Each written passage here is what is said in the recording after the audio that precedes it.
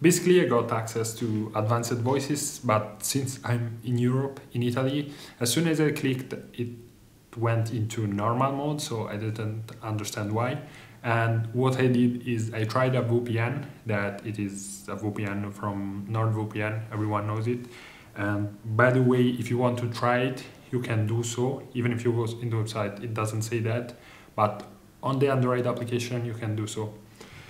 And they give you a seven day trial, and I'm on it. And Alhamdulillah, I made it work, and it works fine. You only have to change your location in the US or, for example, Australia. And I suggest you to close the app. You don't have to uninstall it as many people say, but you basically have only to to close it and reopen it and trying to change between United States and uh, Australia.